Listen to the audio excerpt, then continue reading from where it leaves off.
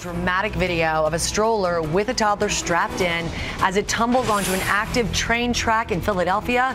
The mother and Good Samaritan racing to the rescue. And ABC's John Muller has the story.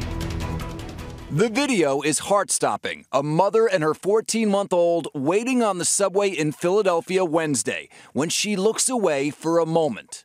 Watch again. It takes seven seconds. The stroller slowly rolls towards the tracks, then tumbles over the edge and flips upside down. The toddler still strapped inside. It's heart wrenching um, because you, you, you, you can anticipate it. Without hesitating, the mother jumps onto the tracks as this woman pushes an emergency call button.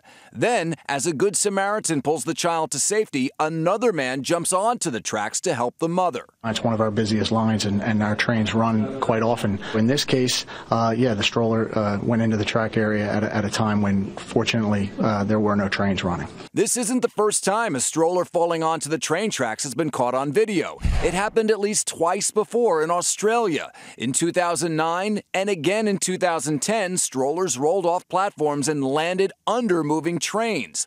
Although the video is shocking in both of these incidents, the children were okay. And this morning, the Philadelphia toddler seen here being taken by police officers and paramedics to a waiting ambulance is doing well, with only a cut to her forehead. All witnesses say because the city of brotherly love lived up to its name.